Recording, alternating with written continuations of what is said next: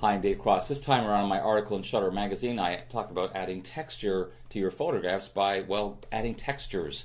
And these textures can be either something you create in Photoshop using some of the built in options or something you shoot for that purpose. And one of the things that I emphasize in the article, I think it's really important, and I'll talk about this a couple of times, is textures are everywhere. You can just walk around the block and find a crack in the pavement or peeling paint or rusted metal or a wire fence or something that could be the start of a really interesting texture. So let's take a look at some examples of how we could use these textures in Photoshop. So as an example, I want to add this texture to a photo I already have open in Photoshop. So in Photoshop, I have the document open that, as you'll see, is a Camera Raw Smart Object.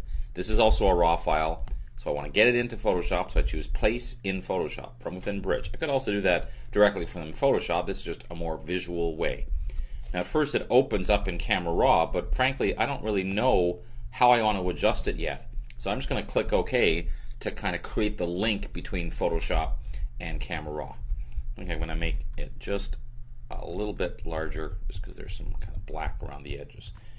Normally I wouldn't want to enlarge a texture, but in the case of working with overlay textures like this, doesn't really matter because we're going to do something to make it look a little different. So we could try a blend mode like overlay and it's very subtle. You can just see it here and there. Maybe multiply, and maybe lower the opacity. And I don't have a specific plan in mind. I'm just trying things. But one of the ones that a lot of people overlook because they tend to play with just blend modes and opacity is the blend if sliders. Double click on the layer, and then you say, "This is the layer I'm on.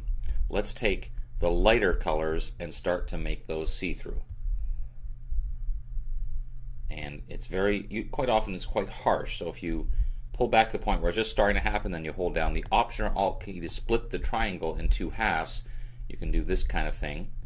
And what's interesting is you can still affect the blend mode in here. So for example, I could try what if I change it to multiply or darken or something completely different like divide while I'm in the middle of doing the blend if sliders. I can also take the underlying layer and start to push it through to say make the dark areas not be quite so noticeable. So I think I'm going to switch back to a mode where you can see it a little bit better. That wouldn't be one of them. And maybe one of these ones up here would be a little better. So you can start to see a little bit more, and I'm not in any way suggesting this would be the combination to use. I really want you to see how I'm blending them together. When I click OK, really everything about this can be edited because I still have the blend mode here, I have the blend if sliders here, and this is a camera raw smart object, which means if I double click on it, it goes back to raw, and I could, for example, say, what if I change the exposure quite dramatically, but really put the contrast up a whole lot, and maybe even took out the color completely to see what that would do. Now with some blend modes, it's going to completely alter. See how it took away almost all of it there because there's no more color. So in this case, maybe that wouldn't be the best idea, but that's kind of the point is you can try this and say, well, what happens if I make this switch and make that switch, and now that I've done that, maybe I'll go back to the blend if sliders and pull this back a bit. Try some different things. Again, not to suggest that this is the combination we want, because probably not. But that's kind of the thought process is use Photoshop's built-in abilities and the ability to create a Camera Raw Smart object connection so you can go back and forth and edit the texture on the fly. Now by using these flexible techniques, it means not only can you experiment, but you can reuse the texture on a different photograph.